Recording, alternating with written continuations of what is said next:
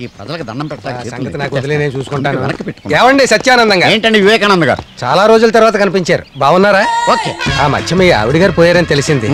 చాలా విచారకరం అండి. ఆవి టైం అయిపోయింది. వెళ్ళిపోయింది. ఇందులో విచారించవలసిన విషయం లేదు. ప్రస్తుతం సంతోషించవలసిన విషయం అటుంది ఏంటండి అది? బాబు గారికి మళ్ళీ పెళ్ళైంది ఓహో. వీరి కొత్త భార్య వయసు ఇరవై రెండు సంవత్సరాలు. తప్పు చెప్పకురా వెధవా.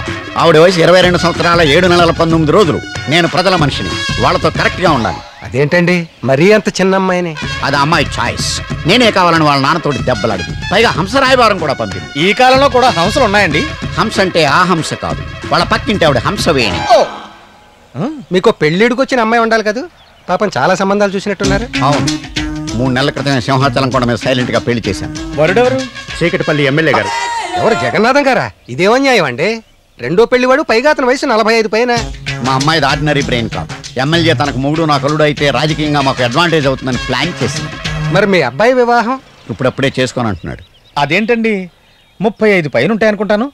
పాప ముద్దు ముచ్చట. మీరేం దిగులు పడకండి. అప్పుడప్పుడు అవి తీర్చుకుంటూనే ఉన్నాడు. సెలవు.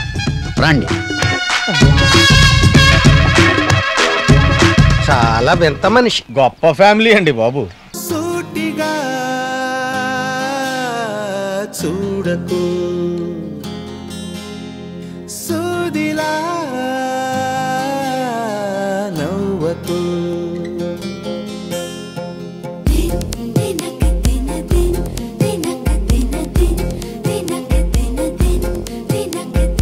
ఎదురుగా నిలబడుతూ ఎదనే